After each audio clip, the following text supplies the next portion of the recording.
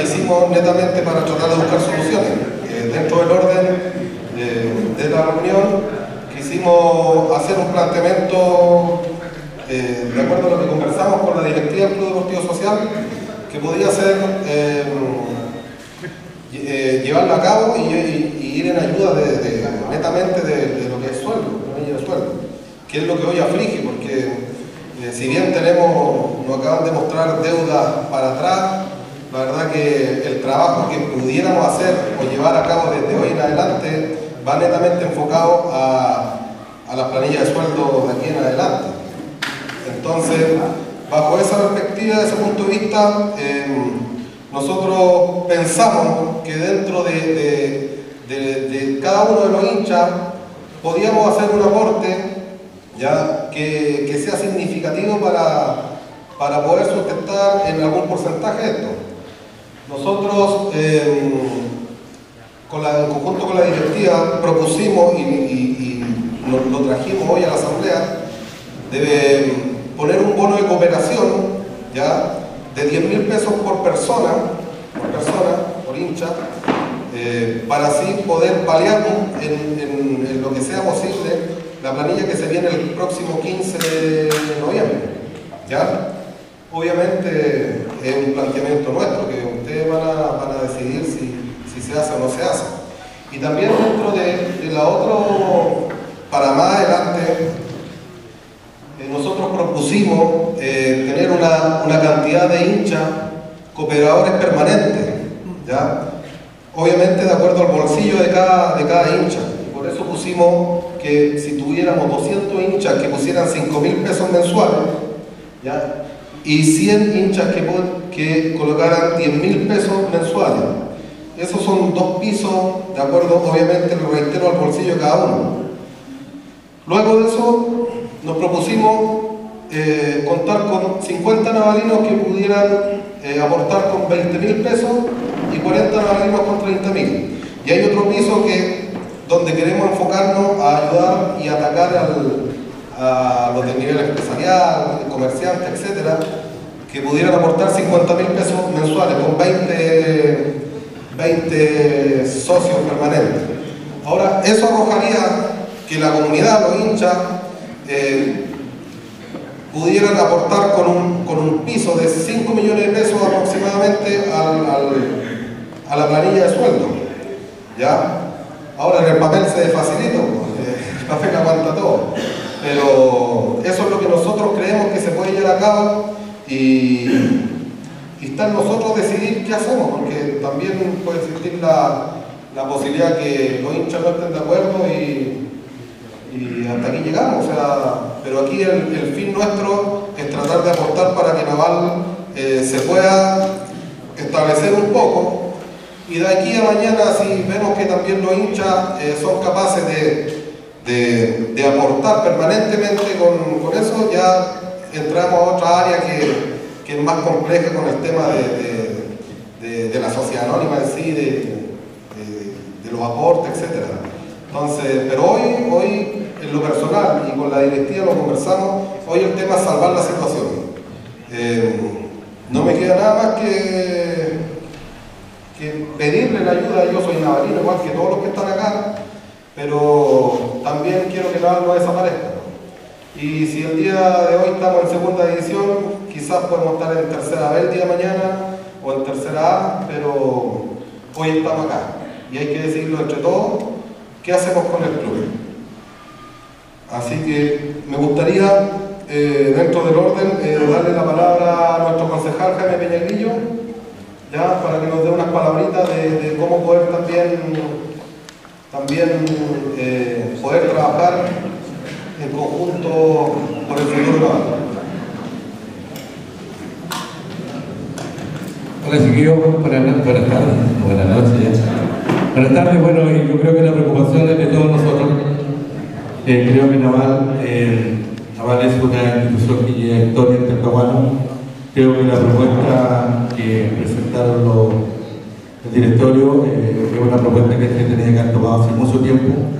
Eh, siempre les manifesté que se trabajaba muy, mucho de puertas cerradas. Creo que Naval es una institución que tiene que ser abierta donde todos pudiéramos ser parte de esta y los que pudieran cooperar más o los que pudieran cooperar menos, pero el, equipo humano es importante. Muchas veces apelábamos a dos o tres dirigentes que tenían el poder económico, pero creo que Naval, como dice, lo hacemos todos y somos todos. Entonces, de una u otra manera, eh, hay que estar presente y aportar.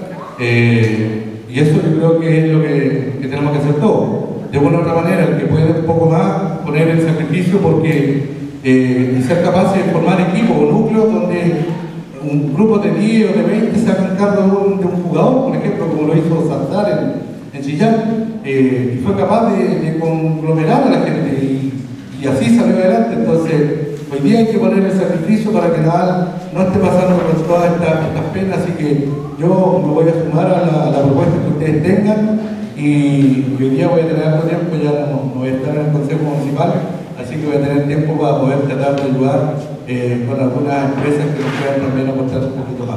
Así que yo me sumo a lo que ustedes pueden hacer y, a sumarse todos, todos los que están aquí. Yo creo que todos estamos con el interés de que nada no desaparezca aquí. Así que hagamos el esfuerzo, apoyemos al directorio que está haciendo esto. Gracias.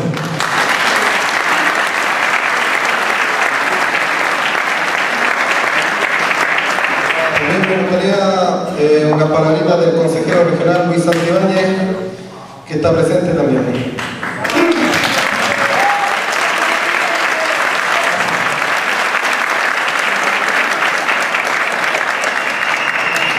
Buenas noches, pido las cosas del caso.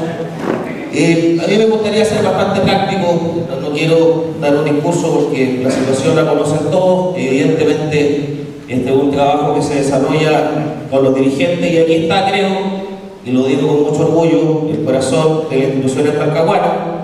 Es la primera vez en estos seis años que conozco directamente el trabajo con Naval que veo tanta gente, lo cual significa que el llamado de verdad es un llamado urgente y necesario. En lo que consta al apoyo nuestro desde el gobierno regional, y eso lo hablo como institución.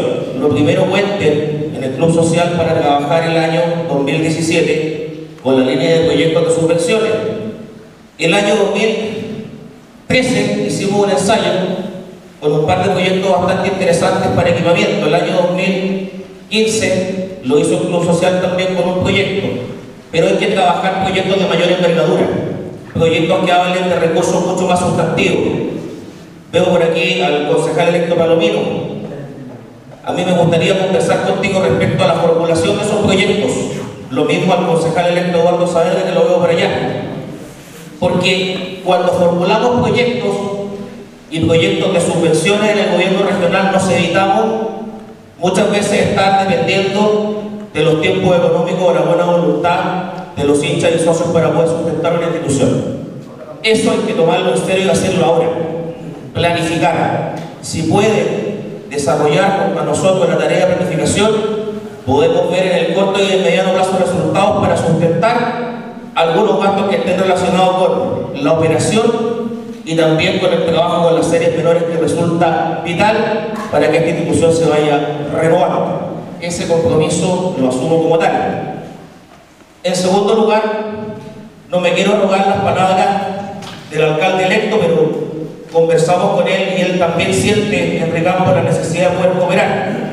Yo creo que una vez asumido, indistintamente los colores políticos, tenemos que tener una reunión integral para ver de qué forma también el municipio, así como lo hizo en materia de la gestión anteriores, esta gestión también potencia ese trabajo.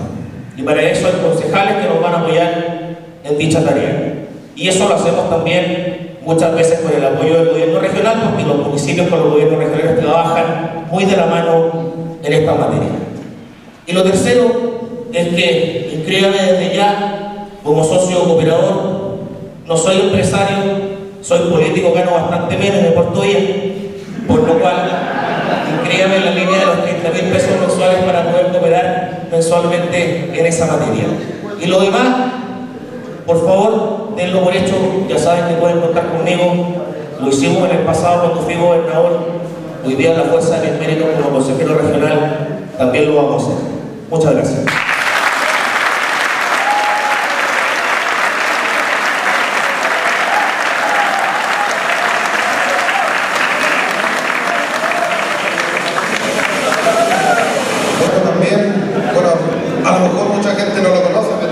yo lo conozco hace muchos años, fue presidente del fútbol joven, eh, cooperó muchas veces en la presentación de los proyectos, como lo dijo eh, Luchito, eh, y hoy salió concejal electo por Talcahuano, y no me cabe ninguna duda que vamos a trabajar a la par con Víctor Palomino, que también me gustaría que, que dijera una palabra.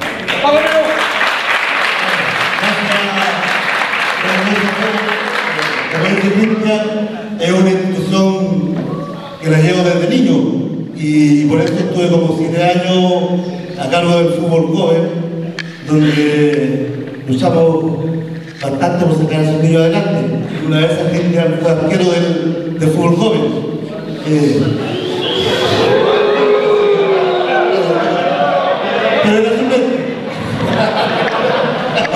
Chiquillo, eh, por el club naval hemos trabajado en la formulación de varios proyectos eh, enfocados al fútbol joven.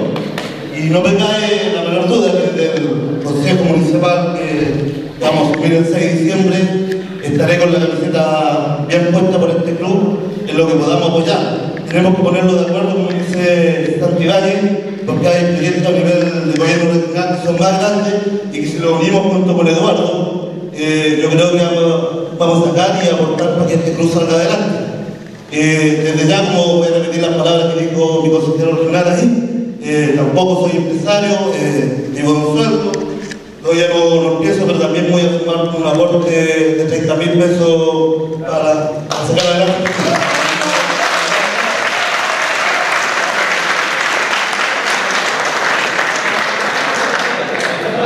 Bueno, para terminar con lo...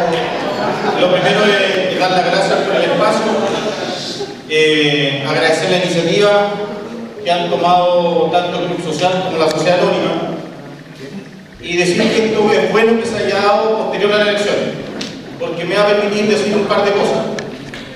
Saludar que está presente también los dirigentes del fútbol joven, Hugo Llene y Sergio Herrera.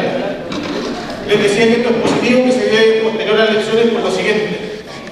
Aquí hay mucha gente que se está sacando la cresta hace rato y dentro de los cuales me incluyo, y que no fue por un tema instrumental anterior a una campaña. Les quiero decir con toda humildad que fue en unos cuantos cafés que nos tomamos con Ferrada, en unas cuantas conversas con los cabros de la calle Brava, en unas cuantas pláticas con Sergio Herrera, en que personalmente tomé la iniciativa de invitarlo a trabajar a las tres agrupaciones que son Naval de Talcahuano juntas. Y partimos hace bastante rato en un café que nos tomamos en el Hotel Sonesta, donde trazamos alguna línea de trabajo. Y eso creo que hoy día está dando su fruto. Y lamentablemente está dando su fruto después de que estamos tocando un piso. Porque recién Ferrada comentaba que Deportes Concepción fue capaz de llevar 5.000 personas a un banderazo. Créanme que si nosotros no fuéramos a pique, llevaríamos 10.000 personas a un banderazo.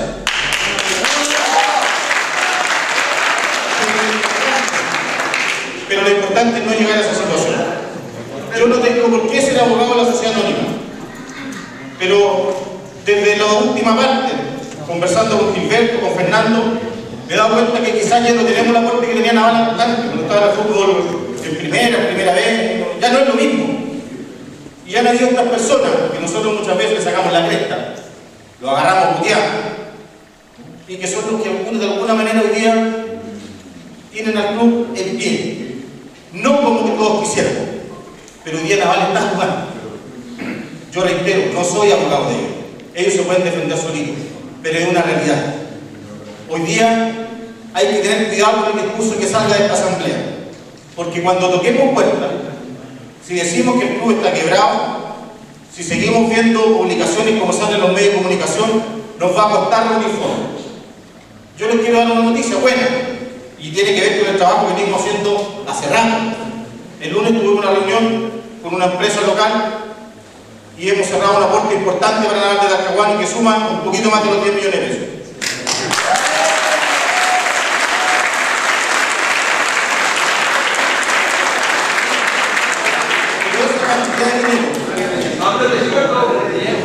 Esa cantidad de dinero, de acuerdo a la proyección que tenemos que hacer, de acuerdo a la buena voluntad que ha manifestado Lucho Santiago, mi amigo, somos de colores distintos pero jugamos de memoria y yo sé que él nos va a seguir apoyando el Consejo Regional. así como también lo va a hacer Palomino. Y espero confío también que el alcalde actual lo va a hacer, así como Jaime Peñilillo, que es un hombre que tiene un valor agregado, hoy día perdió una elección pero está aquí presente, y también lo va a hacer. Y como dice el eslogan, es medio raro el eslogan, me cuesta decirlo, base por todo. Así que lo que hay que hacer, muchachos, es lo siguiente. Tenemos que, de alguna manera, invitar a cada uno de los que está aquí, invitarlo más.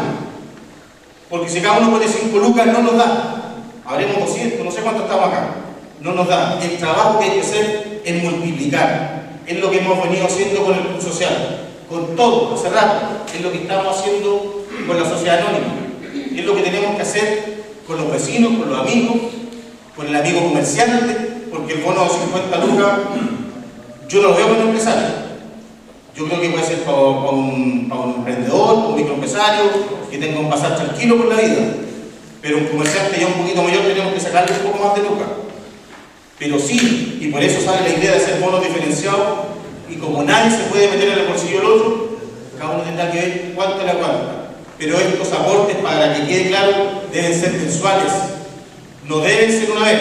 Para eso hay un aporte que había puesto Cristian de 10 millones para, perdón, de 10 mil pesos para salvar como la situación inmediata. Pero si el aporte no es mensual, nos vamos a ver complicados. Nos van a seguir quitando puntos, o nos van a quitar, no sé si finalmente nos han quitado, gracias a Dios. Hay que evitar eso, hay que evitar el castigo por planilla impaga, hay que evitar el castigo por puntos, que ha costado mucho ganar a la cancha, y perderlos por plata sería lamentable. Yo termino diciendo que esta reunión partió con 60 lucas del Lucho, de Palomino, y cuenten con 30 lucas más para seguir ayudando a Naval. Yo estoy comprometido. Eh, aquí he encontrado a lindos amigos. Me gusta a la cancha a echar chuchá, porque soy chorero y soy como cualquiera de ustedes. Eh, y tener vivo Naval es tener vivo la cámara. Gracias.